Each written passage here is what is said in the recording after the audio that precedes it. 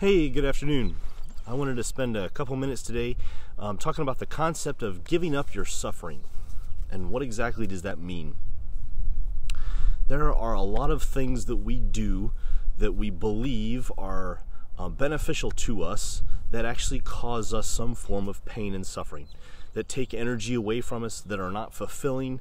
Um, we hold um, a set of practices or a set of behaviors or a set of circumstances that um, cause us a disruption in our life or an incongruency with our values, and we hold on to them.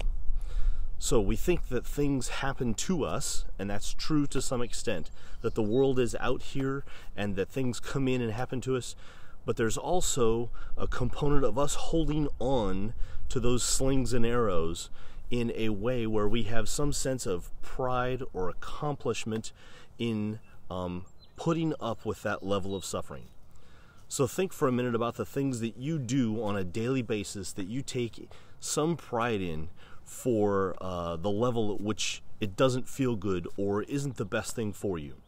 So some some uh, what's an example? Something about um, how many hours you worked this week without a break or how many hours you just worked today without taking lunch, or how you don't stop for work, don't stop at work to take a lunch break. Somewhere in our mind, we take some pride or we are disgruntled with having to do that on a regular basis.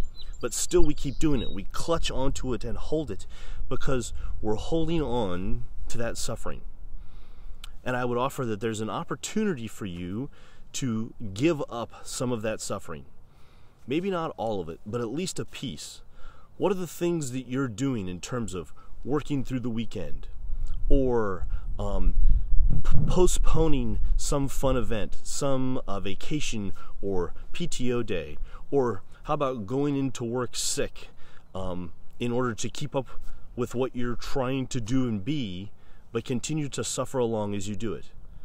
And I would challenge you is there, an, is there an opportunity to reduce that suffering, to let go of just a small piece of it, to give it up in order to have a higher quality life, in order to do better by yourself and those around you, in order to um, be less negative, to give up some of that negativity.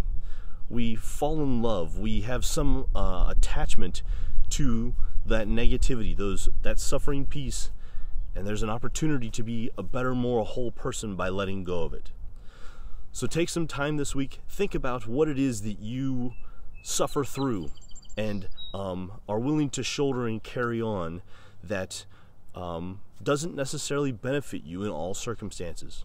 And look for opportunities to give up 10 or 15% just to start. Test drive what would be giving up this one thing for today. What if I took a lunch break? What if I went outside on a beautiful day and went for a walk instead of working through straight through lunch break at work?